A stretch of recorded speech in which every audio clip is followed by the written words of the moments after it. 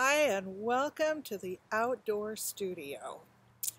I am working outdoors because the original plan when I moved in here was I was going to build a little studio. This is the upper terrace of my garden, and shelter in place. Just can't do that right now. So I decided go ahead and set up and work. Um, so I have my wheel on a Here's my wheel, and I have it on an extension cord, which I am taking up and putting away every day so that I don't have to worry about some critter chewing on it. And um, it's it's working. It's kind of nice being outdoors. I just have to be careful about not having too much stuff fall in my in my slip, leaves and stuff, but it's not bad. So what I'm going to show you today is making shoulders. This is the question that has been coming up, is bottles, uh, rounded forms, they're, they're hard to throw. So let's think about how to do it. And I'm going to start with a, am going to start with one that's, that's really almost like a globe shape. And I think from there we can go to taller bottles. But let's start with figuring out how to get a shoulder to work. And the weird thing about this computer camera is that it reverses everything. So you're going to see my wheel going the wrong direction. but anyway, it'll be right other than that, I hope. I hope. All right, so here we go.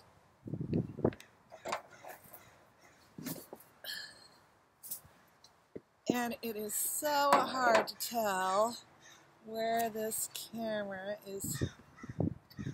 Oh, it's bright out here and it makes the screen almost invisible, but I think we're centered. So um, I have some clay here. This is clay that I recycle and uh, I'm going to show you guys. I'll be sending uh, those of you who are my students. I'll be sending you photos showing you how you can recycle at home.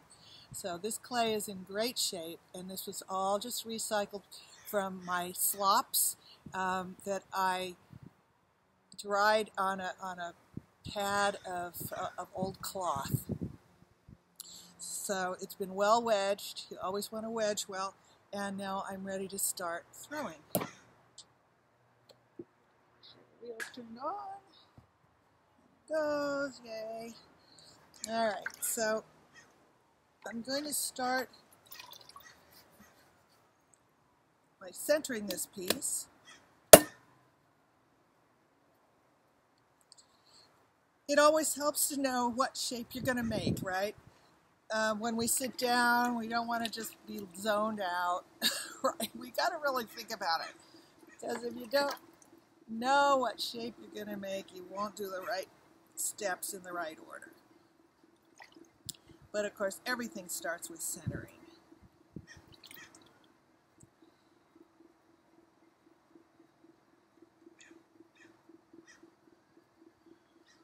Now I'm using a white clay and white clay is much more persnickety and if you're just starting to learn how to work with white clay, give yourself some time to, for the learning curve because it, it feels different. It's, it's mushier. It's not as responsive, but colors look really good on it. So underglazes and glazes are really beautiful on white clay, and that's why we use it.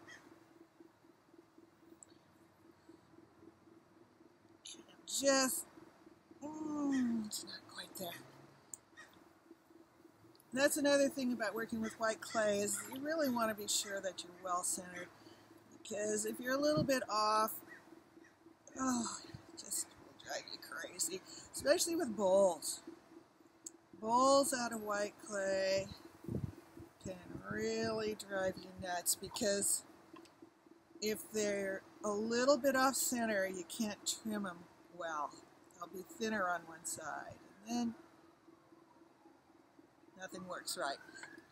And it also goes for how you're drying them. So if you're uh, if you're making bowls, but especially if you're making bowls out of white clay, be sure that you're drying them evenly. Don't let one side dry faster than the other. Now what I'm seeing here is that it's just, it's really hard to get it perfectly centered. I, am feeling like I have it for, for a minute and then I don't have it. And sometimes if you just change your speed, you can correct that problem. I have a feeling this, I might not have wedged this clay quite enough because it's just a little bit resistant to centering. So what I'm doing now is working some more slip into it. And this slip that is on your hands is really good stuff, so don't just go throwing that away. Keep working that into your clay because that's where the plasticity of your clay comes from. And if you keep taking it away, the clay is going to get stiffer and stiffer. Okay, this is better now. So when I was talking about like have your shape in mind, you really got to know what shape you're going to make because the steps are different for different shapes. So this shape is going to be rounded, right? It's going to be globular kind of. Uh, it, will be a little bit more upright and then a shoulder. So we're going to really think about how to make that shoulder. Um, the bottom of it is thrown like a bowl. So you know that a bowl has to have extra clay for support down at the bottom.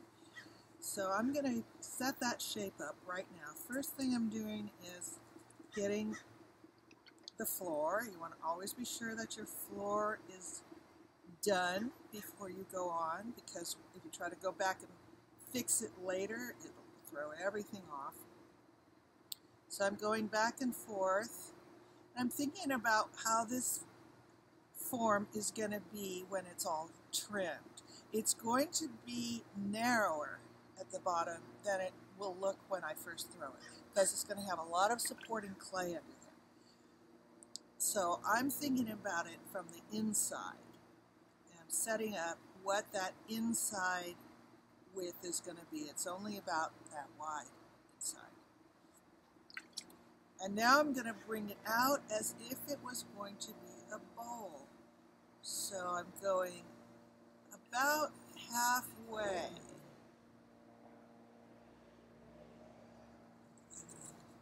A little outward slant. It can be more slanted later, but we don't want to do it. We don't want to stress the clay, so we'll try to keep this a little more upright in the very beginning. And I'm also just slowing my wheel down a little bit so anytime you're getting to a something that doesn't that's not easy, it's good to slow your wheel down and take your time and be sure you're getting everything accurate. So I'm trying to get this wall very even.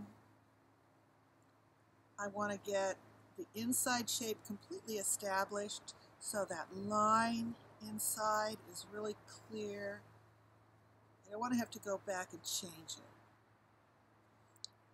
So now the inside is, is like this, and the outside is more like that because a lot of this clay is there for support. It's going to come off later, but it's really important to have it there now because the clay is not that strong and it, you keep sending it out this way, it's going to flop. So that clay underneath is holding it. Now, I have got about halfway up the wall and now this is different from your usual cylinder. I'm going to bring the I'm going to start bringing that shoulder in in the process of thinning the wall. So here we go. Normally we would thin a wall pretty straight up or a little bit slanted in, but we're going to do it a lot slanted in for this shape. Remember that you're dealing with centrifugal force. If you're bringing a wall outward, it's much more likely to flop. if you're bringing it inward, it's a lot safer. So now I've got my base set up. I've got the shoulder already started. I'm going to leave the rim just a little bit thicker so I can do something else with it later. This wall is still fairly thick. And now I'm going to bring it up a little more. A little bit taller. And now I'm going to bring that shoulder in. So the whole time you're feeling for thick and thin. You're trying to not have any areas that are weak. It's a common problem when people try to do a shoulder that they haven't left enough clay and it starts to collapse in the shoulder. And that's why I think it's really helpful to start your shoulder early on. So it's already pretty much there. And now I'm going to create that more of a globe shape. So, uh, and that's why I thought let's start with a little wider pot because it's easier to get in there. I want to be sure that I still got a good line inside, so I'm going to check and see what is there and try and go back and really make sure that it's well established. I'm slowing the wheel down using a sponge to keep a little bit of water going on the outside.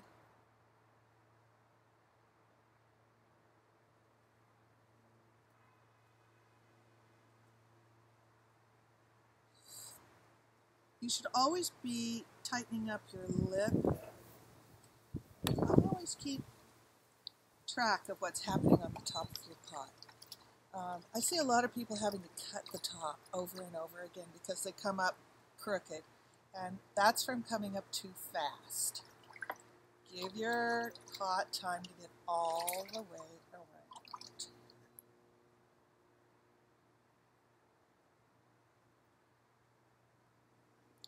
And I'm just going back and adjusting the shape, getting a little more rounded. And I'm going to bring this mouth in a little bit more.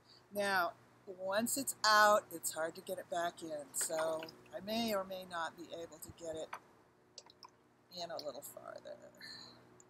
I'll try. This is tricky.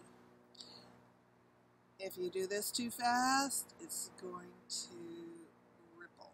So let's see what happens here. It's collapsing a little bit. That's interesting. Okay. I'm not sure I got it in any farther. Yeah, maybe a little bit. Mm, this is tricky. Um, remember that you don't want water in the bottom. So this is the fancy tool. That I don't know how much this cost. Somebody gave me this. This is the one I like. So it's just a skewer with a piece of foam rubber and a rubber band. But it's small enough I can get it in there.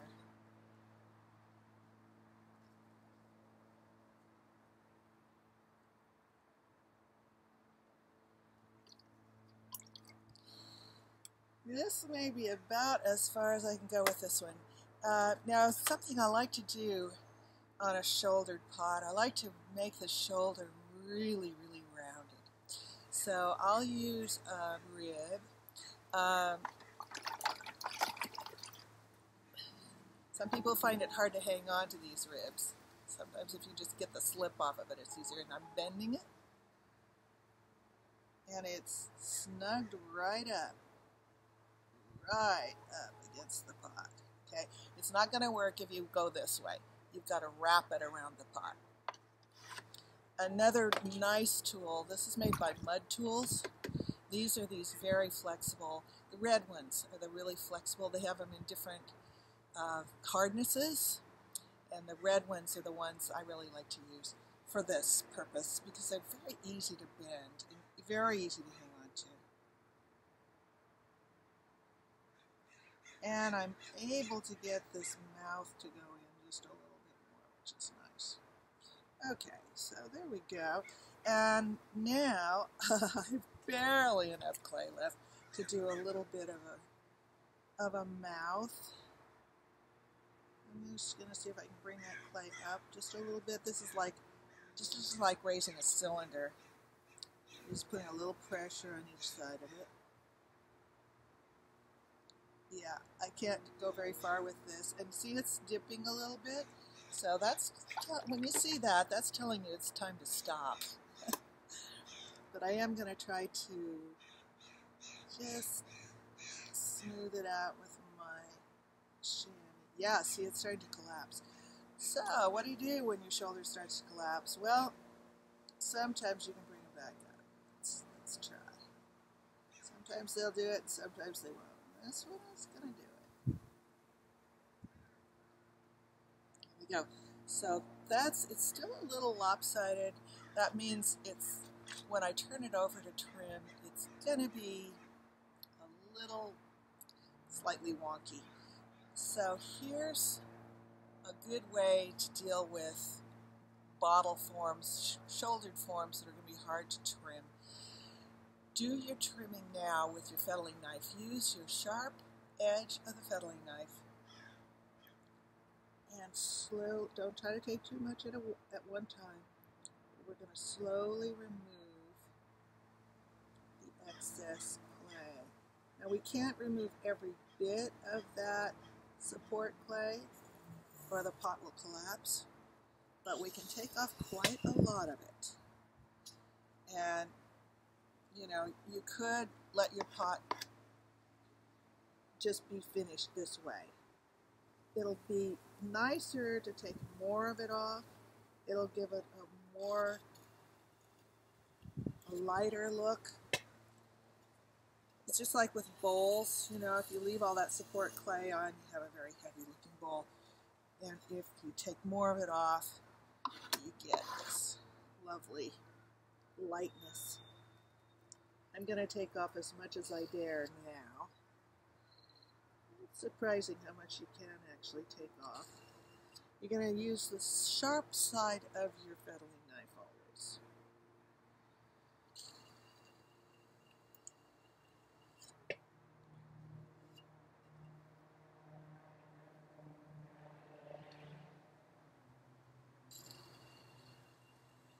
So um, if I was going to have more of a neck on this pot, it would have been important to start that earlier. Just, there's only so much you can do, and then you just have to stop.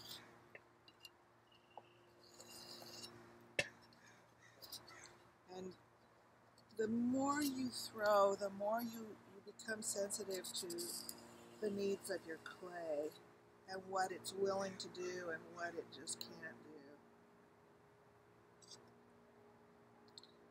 And you just know when to stop. Um, I mean, it's one of the things that when you look at really good thrown pots, you know, they just have this freshness about them. That freshness is from not overworking them. It's from uh, you know, the potter understanding what they were trying to make. They understood all of the steps that they needed to go through, and they just did it and stopped. You just gotta when to quit in this world. Okay, so here, this is ready to come off the wheel now.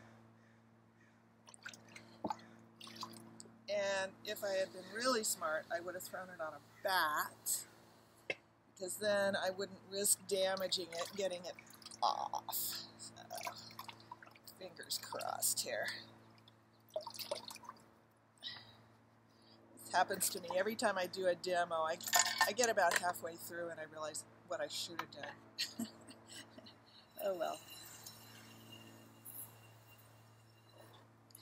Uh, something that'll make it a little bit easier to pick it up is to pull some water through underneath.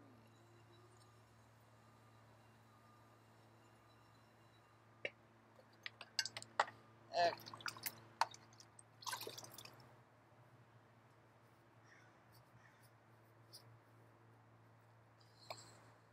So, here we go. Let's see if I can do it. So I have to, how to describe this? You know, there's so many things. It's like, what are the words for this? Um, I'm putting my pressure, if you can call it that, it's not even pressure really, but where I'm putting the real contact is right down there. That's the strongest part of the pot. That's still got quite a bit of clay down there. If I put any pressure up here, I'm going to damage it. So my fingers are there just for balance. They're barely touching. I'm going to turn it.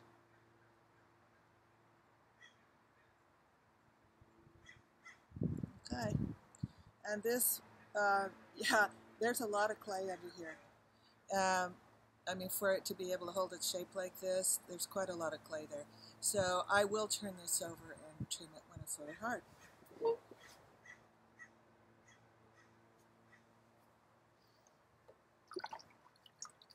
Okay, next is a bottle shape. So get some clay.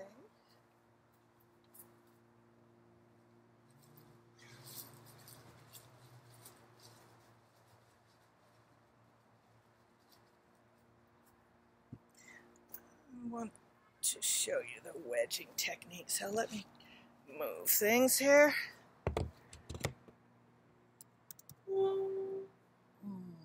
Sure that you can see. Okay. Um, so this is spiral wedging. And all I'm doing is pressing with the heel of my hands rolling it back towards me and giving it a quarter turn. That's the same motion every time. This is a really nice way to wedge. Oh God, it's shaking the table. Sorry about that. Uh, it's a nice way to wedge. It keeps the clay in one compact mass so that it's almost ready to go on the wheel right now. So in order to get a nice little cone shape, I'm going to rotate it around this point.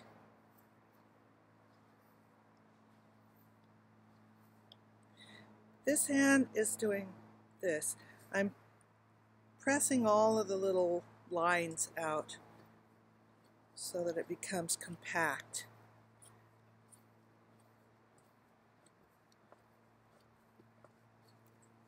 So we have a nice little cone. The bottom is almost totally flat. Round that a little bit. It's going to stick better on the wheel if it's rounded than if it's perfectly flat. So it'll give it something more to connect. And now I'll get it on the wheel and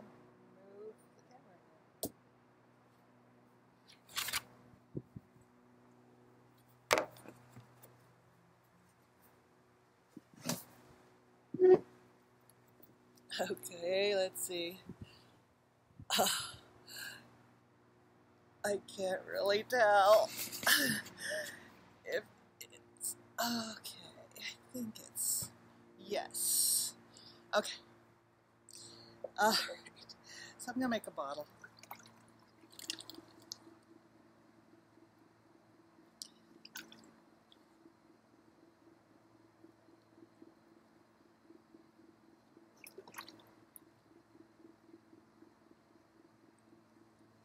I like to get rid of these globs of clay that are kind of in the way down on the wheel head. I want to be able to get my hands right in there.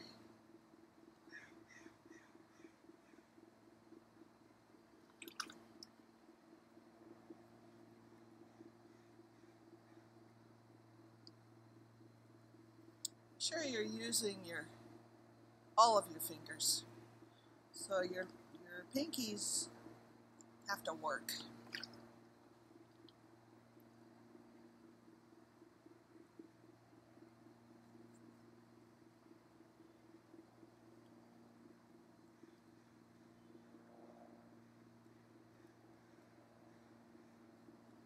And again, we want to be sure that we're really centered.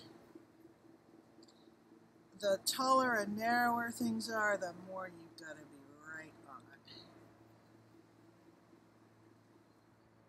Just going to change my speed a little bit.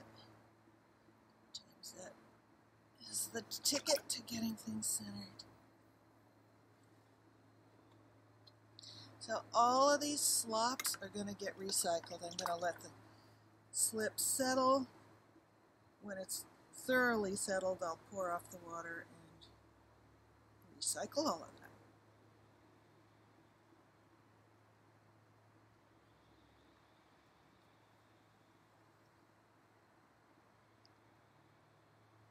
So this is going to be a taller shape, doesn't have to be quite so wide.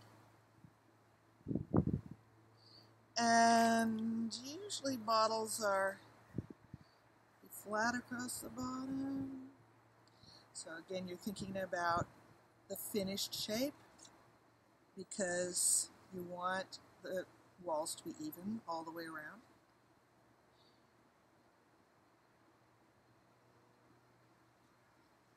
So you're designing the interior so that it will match the exterior.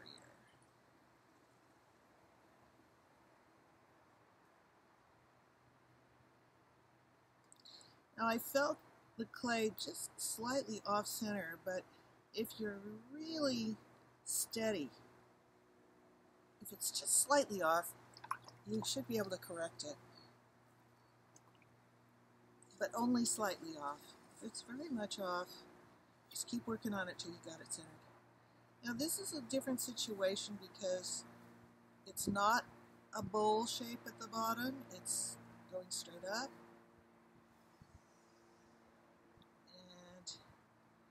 So we're throwing cylinders here.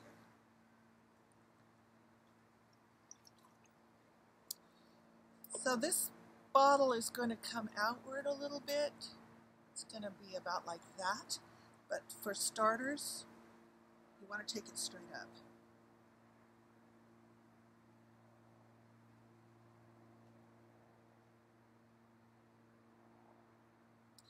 Now we have a little different issue here with the the bottle. And actually, this would apply to that more of a globe shape if you were going to give it a neck. If you were going to give it a neck, it's good to get that neck started now. If you think about what happens here, as the wall gets thinner, there's more torque if you have to squeeze it hard up here. And a lot of times we lose pots because we're squeezing this upper wall and suddenly the pot ripples or collapses. And that's because there's we have to use so much pressure and the wall has gotten weak down here. So let's thin first up here.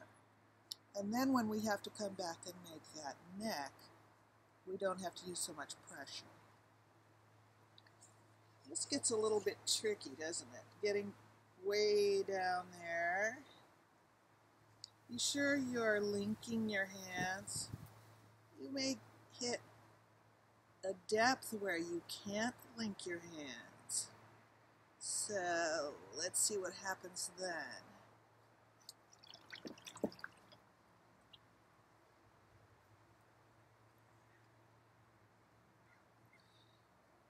I'm going to be going down inside one more time. I'd like to get this wall taller and there's plenty of clay uh, to do it, so I might as well.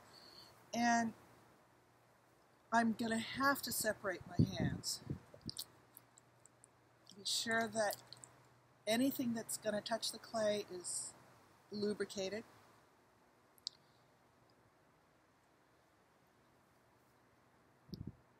So you've got to stay really, really steady. I'm going to slow my wheel down a little bit. Uh, this is why you want to have your foot on the pedal because you may suddenly need to slow down. Okay, as soon as you can, you link your hands. So if you have to do that, you've got to be really, really steady. Um, one way to stay more steady is to have your arm against your body awkward, but you know, the more you can steady yourself, the better.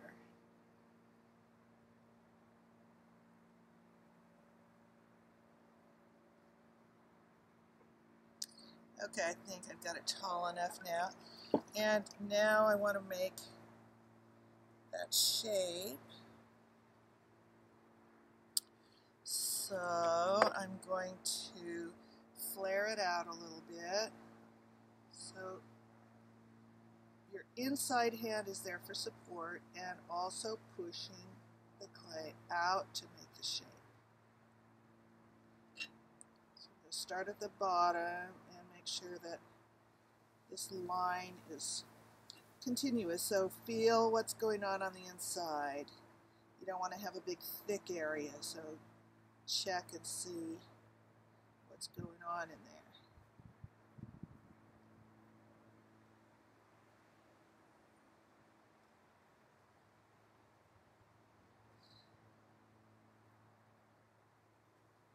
So again, my shoulder is already kind of started. It's not an afterthought. It, it's part of the whole plan.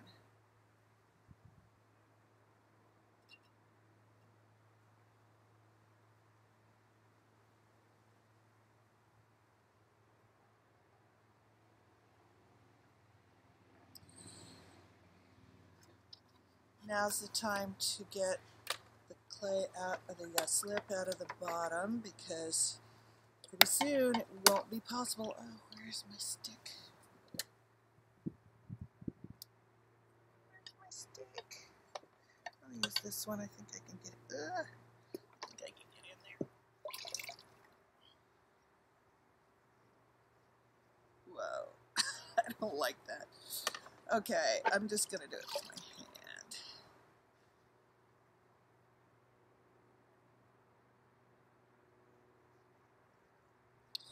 Now, it's not particularly good that this mouth spread out. So let's bring that in. So here's the part that makes bottles challenging. Collaring in the neck. Be sure that you haven't gotten it too thin in the shoulder. This is often what happens, uh, you know, we, we don't, don't leave enough clay up there. So let's figure out exactly where that shoulder is going to be.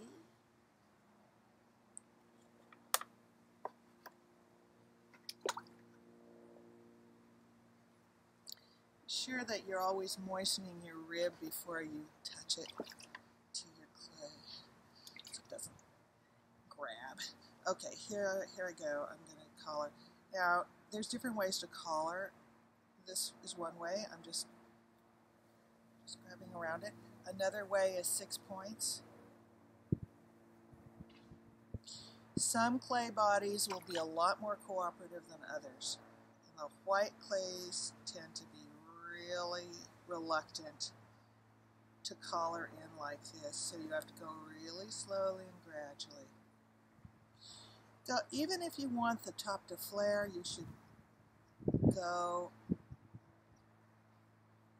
all the way in like this because you can flare it back out. But if you have it flared before you get it collared in, it's going to just drive you nuts. It's not going to work very well. Now what I just did was I thinned it a little bit. The collaring process makes the wall get thicker and as it gets thicker, it gets more resistant to collaring. Besides, we don't want a big heavy neck. So every once in a while you're coming back and thinning it out, and you're also making it a little taller in this process.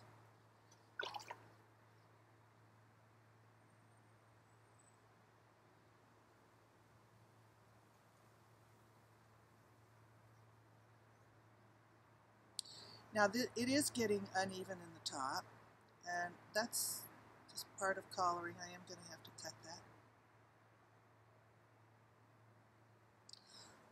that. so how tiny do you want the neck? You know, you can just keep going.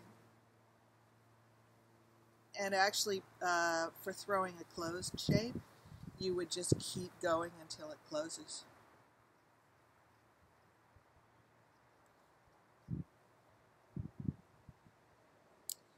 It's a delicate operation, so just give it time.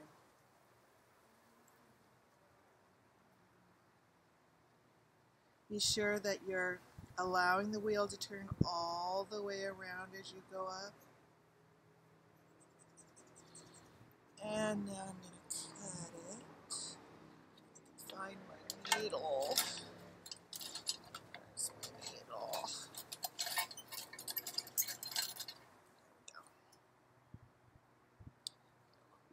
Water.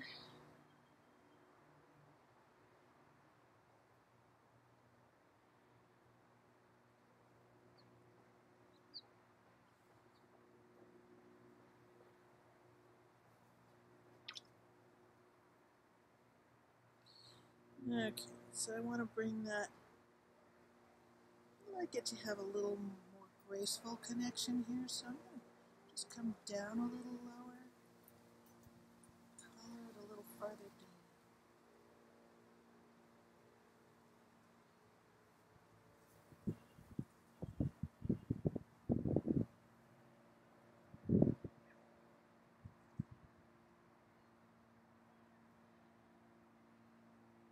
And just bring the neck up just a hair more. So this is a very advanced project. so if you're trying it and it's like, ah, that's okay. it's, it's just not that easy. But it's a wonderful shape to be able to make.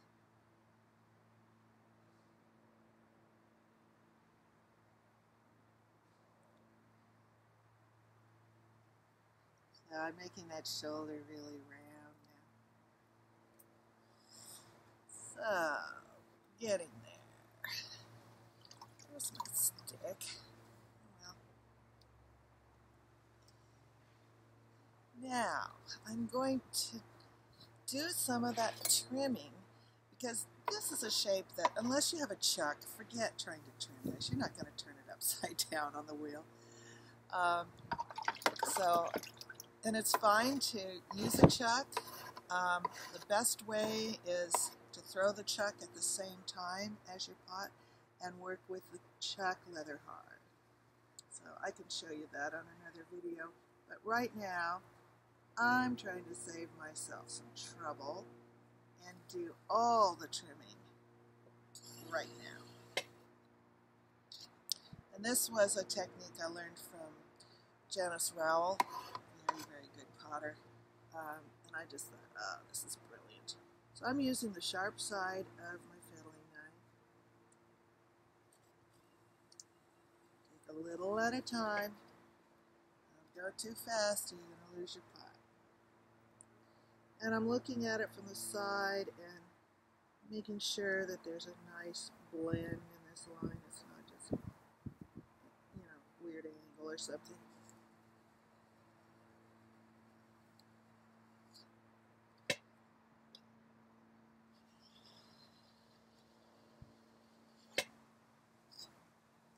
Yeah, she she was making really tall bottles and and then trimming them this way.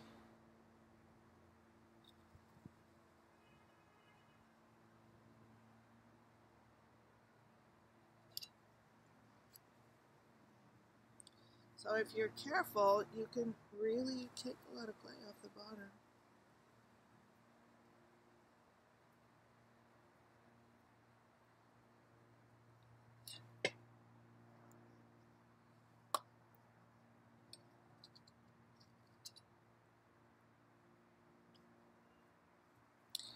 Don't forget to use your chamois on the rim.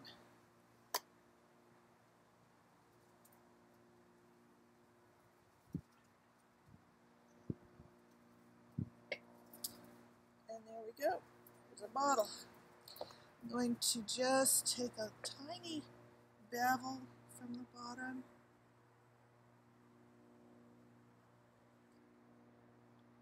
And all the trimming is done.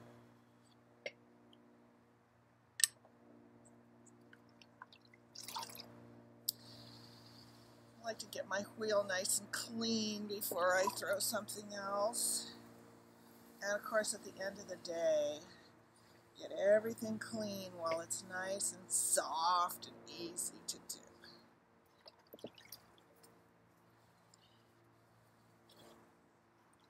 Now I think my walls are thick enough. I should be able to pick this up. We're going to find out.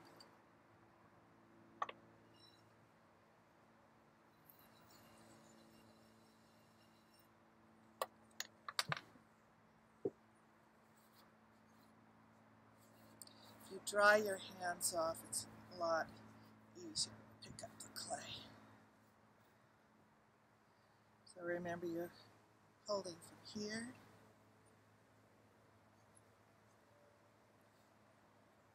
A little twist and there it comes. Um, because I'm outdoors I really don't want this to dry in the sun. Would dry way too fast up around the rim and we'd end up with a crack in the bottom and same thing with the other one I'm going to get it out of the sun and uh, as soon as I can I'll turn this one I can't turn over, but the other one I'll turn over to get the bottom to dry out. But mostly you want to control the drying, so you want to, um, if you're if you're really just watching things, it's okay to have it sitting in the sun for a little while, then turn it so that you're getting all sides evenly dried. But your best bet is to dry in the, in shade. Okay, that's it for this video. Thanks for being here, and I hope this all recorded.